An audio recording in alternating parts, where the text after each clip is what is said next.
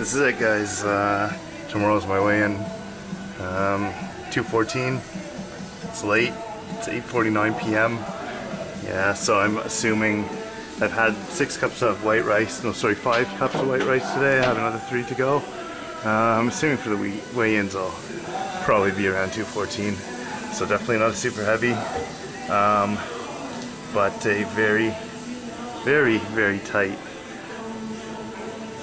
very tight uh, heavyweight uh, and uh, very lean. So I'm impressed with myself. Uh, overall, we'll wait to see how I dial in tomorrow morning. Usually I wake up and I'm pretty good, so uh, I'm gonna take it easy on the carb up, but it's, I think, at this point, I don't need much, but I don't think I'll spill over if I have too much, so it's a gamble. Um, I may carb up um, aggressively um, so I can get this look, um, you know, get on stage for like 215, 216, carb up really well. So that's how it's gonna be. Um, see that? Front relaxes looks silly when I uh, front relax with this arm up. Side tricep.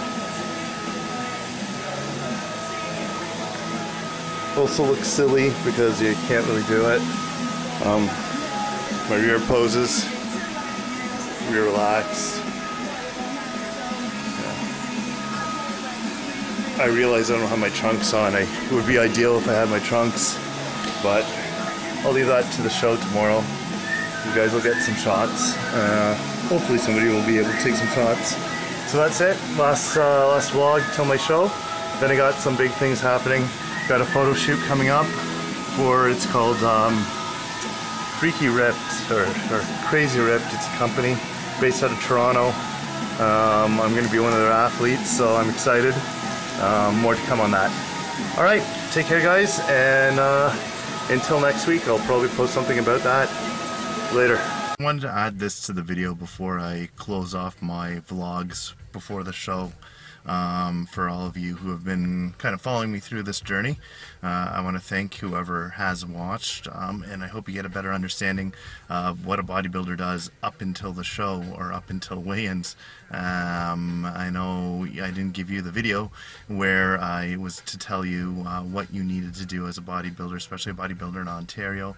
Uh, I may itemize a list still and do that when I'm done.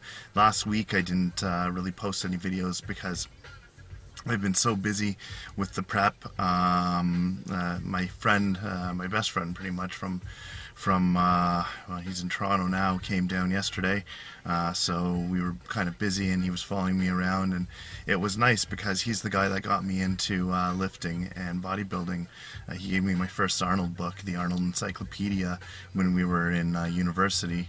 Uh, and uh, you know he was into lifting back when we were growing up too and his dad was a, a bigger guy too so anyways Paul if you're watching um, it was cool to have you come along uh, today and yesterday uh, and uh, thanks for uh, getting me into it. And I also wanted to give a shout out to Jerome.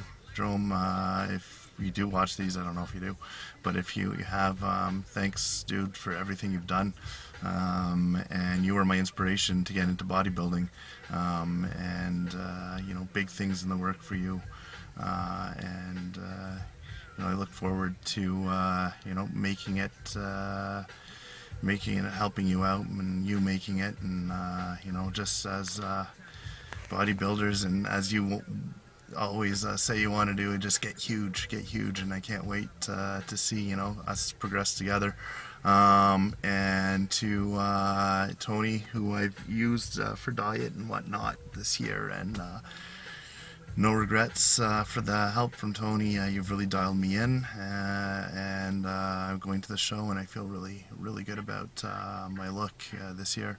I think it's very similar to. Um, uh, one of the, the, the competitors in Ottawa, his name's Tom, and he would always come in full. He was like um, more of my my build, um, so it's it's better for me to kind of carb aggressively, I think, and that's what I've been doing this time around. Um, so that being said, not much left to say. Uh, that being said, not much left to say. I'm really brain dead when I shoot these videos. I'm always uh, in a state of kind of a haze because uh, because I just finished uh, Stairmaster or something, and I'm in my car. Um, but that's that's about it. I guess I'll see you guys tomorrow. Oh, as I was saying, got a photo shoot coming. Um, depending on the weather, I guess, but. Uh, it will be for a company called Crazy Ripped. Uh, there's athletic apparel company starting up in Toronto. Um, so I really want to thank Reven for the opportunity to uh, be, be an athlete, and I guess I'm at this point the only male they have uh, doing the shoot. Um, so I'll be on the website once it launches, um, and uh, looking forward to working with them.